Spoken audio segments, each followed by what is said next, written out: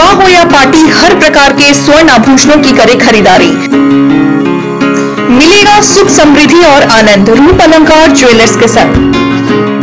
100 प्रतिशत hallmark gold jewellery का एकमात्र संस्थान, रूप अलंकार ज्वेलर्स, मेन रोड, गढ़वा।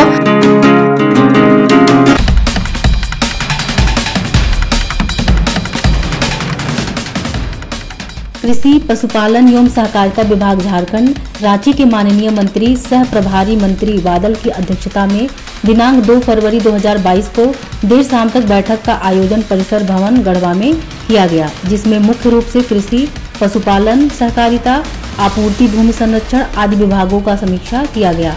मौके पर उपायुक्त राजेश कुमार पाठक, पुलिस अधीक्षक अंजनी कुमार झा, जिला कृषि पदाधिकारी रामाश्रय जिला सहकारिता पदाधिकारी अमिता कुमारी, नजारत उप समाहर्ता संजीव कुमार सिंह एवं प्रमंडल पदाधिकारी गढ़वा आदि उपस्थित थे। माननीय प्रभारी मंत्री श्री बादल के द्वारा बारी बारी सभी विभागों की उपस्थिति अधिकारियों से उनके विभाग से चल रहे विभिन्न योजनाओं की जानकारी ली गई। एवं उसमें सुधार तथा लक्ष्य प्राप्ति हेतु आवश्यक दिशा निर्देश दिए गए। उन्होंने मौके पर उपस्थित सभी जिला स्तर के पदाधिकारियों एवं जनप्रतिनिधियों से अपेक्षित सहयोग करने की बात कही। माननीय प्रभारी मंत्री श्री बादल द्वारा बीस सूत्री के उपाध्यक्ष एवं प्रखंड स्तर पर मनोनीत सदस्यों, पदाधिकारियों से समन्वय बनाकर काम करने हेतु जिला स्तर एवं प्रखंड स्तर के सभी पदाधिकारियों को निर्देशित करने की बात कही गई।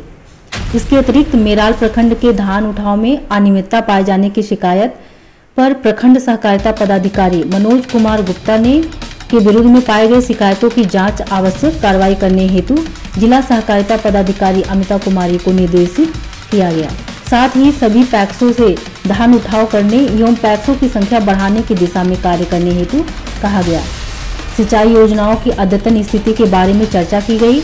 प्रखंड गढ़वा में लाभुक के साथ हुए मारपीट की घटना पर खेद व्यक्त किया और इसकी चर्चा करते हुए माननीय मंत्री द्वारा इसकी आवश्यक जाँच करने और दोषियों पर कार्रवाई करने की बात कही।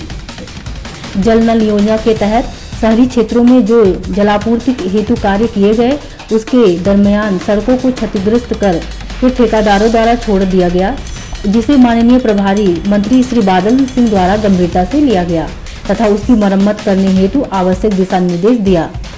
सभी संबंधित ठेकेदारों द्वारा उक्त सड़कों की मरम्मत नहीं की जाती है तो उनके विरुद्ध कार्रवाई करने का निर्देश भी दिया। माननीय प्रभारी मंत्री श्री बादल सिंह द्वारा आगामी बीस सूत्री की बैठक जल्द से होने की बात कही तथा अपेक्षित सफलता पूर्वक लक्ष्य प्राप्त करने की कामना करते हुए इस बैठक की समाप्ति किया गया।